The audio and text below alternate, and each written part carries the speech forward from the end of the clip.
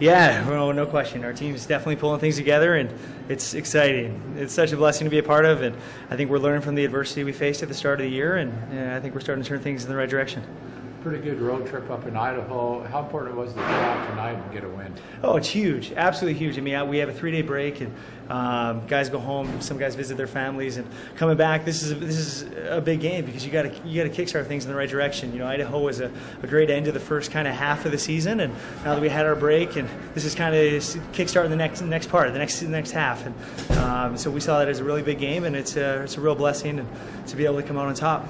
Me about that goal. Yeah, what a pass by Abney, right? My gosh, like you see the replay, Abney made a phenomenal play.